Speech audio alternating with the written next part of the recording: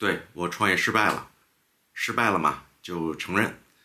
嗯、那今天呢，我就跟大家聊聊我今年在我身上发生的一些事情，呃，还有就是我的转变，最后说说呢，创业失败以后我最想要的是什么。呃，今天呢也不是谈什么创业的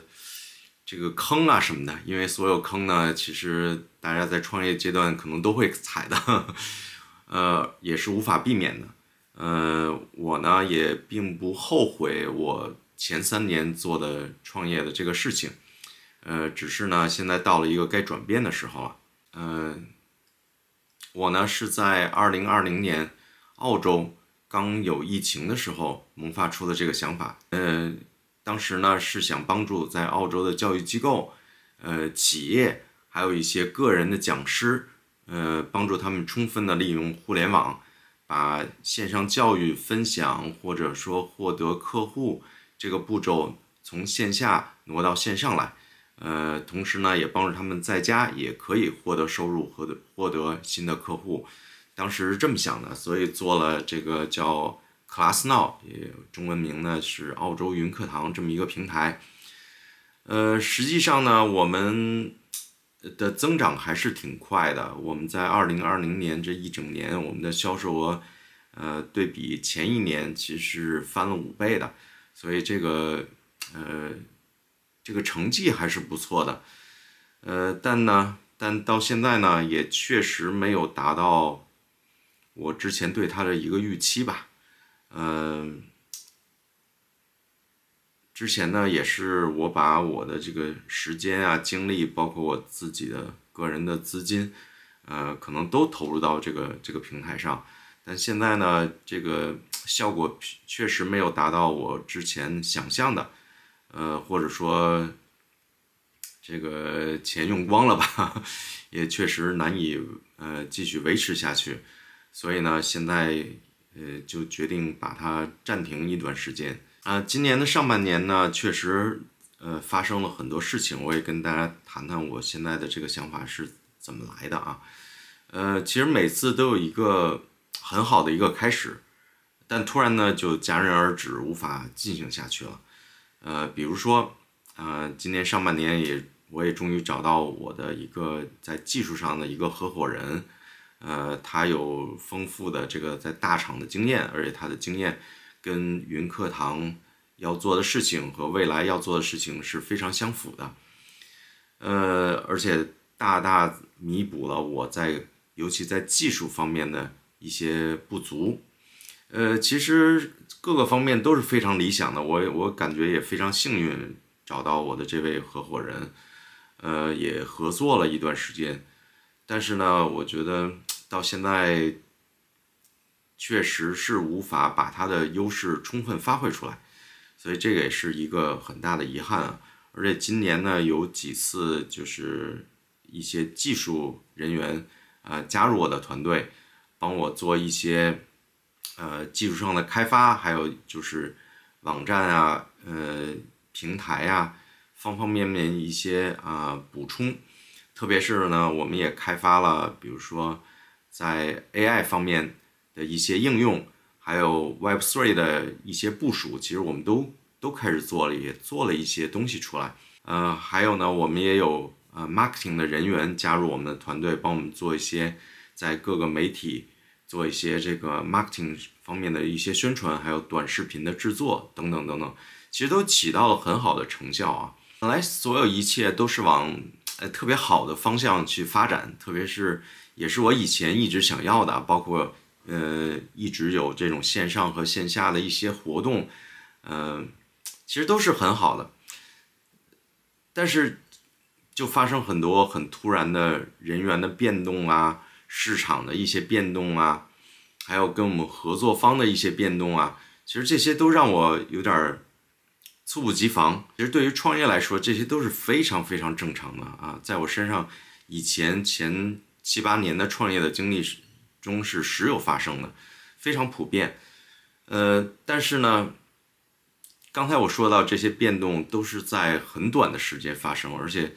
呃，都是在我这个身体非常不好的情况下发生的，所以所有事情都是突然放在一起了，所以这个是呃让我有的时候从从身身体上呃状态上精神上都有点难以承受。嗯，紧接着在今年的六月份呢，我又生一场怪病吧。呃，其实医生也不知道是是呃具体的是什么病，但他问了我一些最近的一些状况，比如说是不是精神压力精神压力特别大呀，睡眠不好啊，或者睡到半夜一醒就很难再入睡啊，呃，熬夜比较多，呃，再加上可能真的有点这个抑郁啊，还有就是经济状况不是特别好，呃，这些都都说对了。所以呢，这个医生呢也建议我去看看这个心理医生。他也说呢，估计就是因为我心理压力呃太大，然后造成了免疫力的降低，所以才带来身体发生这个状况。呃，然后因为好几年也没有做呃全面的体检嘛，要让我这个做一些这个血液检查，结果发现我的肝指标是严重的超标。超了超了好几倍，嗯，然后又让我去照 B 超，结果发现在我的肝上有一个有一个小小的阴影儿，呃，所以他还让我这个做好这个思想准备，因为这可能是比较严重的病。然后啊，我又马上去约了这个核磁共振，呃，经过这个漫长等待啊，最后终于出来说是。结果终于出来说还好，这个是良性的，所以让让我松了一口气啊。但这个这段经历也确实给我一个提醒啊，让我重新去反思我的创业的商业模式。呃，同时呢，也让我承认我这次创业确实是失败了。呃，那经过这次折腾呢，也让我明白这个身体的一个重要性啊。我也马上就。一改这个以前熬夜的这种不好的习惯，然后每天呢，现在就改变十一点前啊，一定要上床睡觉，呃，调整心情，注意饮食，不不乱吃这些呃不健康的一些东西啊，尤其晚上尽量是不吃甜食，呃，而且我现在最想要的呢，就是快乐，嗯。准备把我以前的一些不开心的事情呢，或者创业的一些烦恼，先先放一放，先调整好自己的这个心情和身体。嗯，多陪陪这个家人，陪陪小孩儿。那周末带带小孩出去，到处去玩一玩，转一转。嗯，还有呢，这个说来也真的是挺挺奇怪的，在我生病。这段时间，或者说上半年，我我们家里的电器其实也是接二连三的坏了，呃，什么电视啊、洗碗机啊，还有一些小的一些家用电器都不好用了，或者就是干脆就坏了，也也真是奇怪啊，跟跟我的这个身体反应、情绪反应好像发生在同一时间，所以呢，我就借着这个在家调整这段时间，把一些该换的都都换掉。该修的家里一些坏的一些东西，终于腾出时间了，呃，把它修一修。还有一些长期不用的东西，就赶紧拿到网上去卖了。呃，确实产生了很好的效果。嗯，每修好一个东西呢，其实都让我感觉心里轻松了很多，也也放下一些东西。嗯。那以前呢，在创业阶段，可能因为忙，呃，好多朋友也是好久没有联系了。那这段时间呢，我就打电话跟他们约出来，比如喝个咖啡啊，一起坐坐，聊聊。呃，还有呢，就是我一直喜欢的这个拍照啊、拍视频呐，呃，这方面的一些事情，那我也赶紧拿起来来做，找一切呃机会，比如说也去拍拍采访。呃，拍一些小的项目，呃，这些让我喜欢做的事情，也确实做的过程当中，呃，让我重新快乐起来。呃，上个月呢，我又做了一次体检，然后居然啊，所有指标都都正常了，我的肝指标啊，所有这些都都正常了，包括医生其实也很惊讶，哎，怎么这么这么快，这个 指标全都好了？呃，那我觉得也是因为前一阵儿，第一是。调整了我自己的这个心情、心态，呃，还有就是，呃自己的这个睡眠啊、饮食啊这方面的一些调整，特别是呃坚持就是做自己喜欢做的事情，我觉得这个真的是非常重要。呃呃，创业失败了，我并不后悔。呃，可能下一次吧，我找个机会跟大家聊聊我创业失败的一些呃原因，还有我在这其中取得一些经验教训。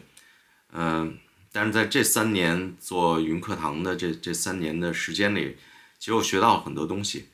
也认识了很多人，而且这些人呢，可能都是我以前没有机会认识，呃的各个领域方方面面的一些朋友，一些合作伙伴。其实我非非常感谢大家，呃，感谢每一个帮助到我的人，呃，我说的这些呢，也想告诉大家，呃，身体还有快乐真的是非常非常重要的，可能只有这两样东西，呃，会陪你走到最后。如果你也在寻求一些让自己快乐的事情，欢迎你来告诉我，或者说找我，咱们可以一起来聊一聊。好，那今天就说到这儿吧。拜拜。